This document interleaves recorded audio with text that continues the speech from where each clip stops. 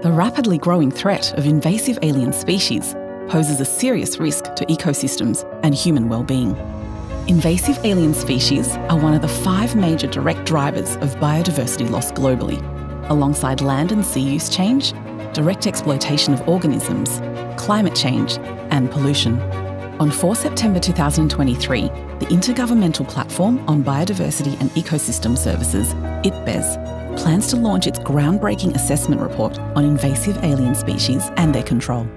The assessment has been more than four years in development, drawing on over 13,000 sources that captured the diversity of existing knowledge on invasive alien species, including scientific articles, governmental reports, and Indigenous and local knowledge. It has been prepared by 86 top international experts from 49 countries, from all regions of the world. The report presents the latest evidence about the status and trends of invasive alien species and outlines options for decision makers to choose appropriate management and governance responses. IPBES Science and Policy for People and Nature.